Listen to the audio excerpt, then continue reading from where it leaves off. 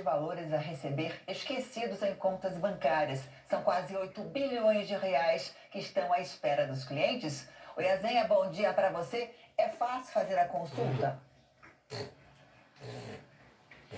Bom dia, Janine. Sim, é bem fácil. É só entrar no novo site valorizarreceber.bcb de Banco Central do Brasil.gov.br. Digitar o CPF e a data do nascimento.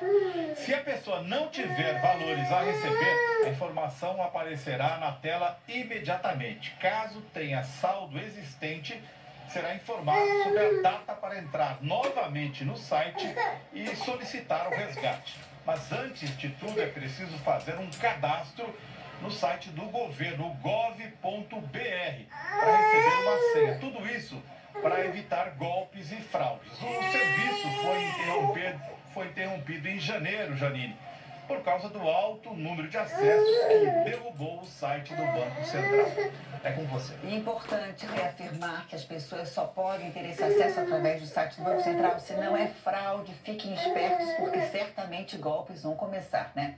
Obrigada, Zenha. Bom trabalho aí para você.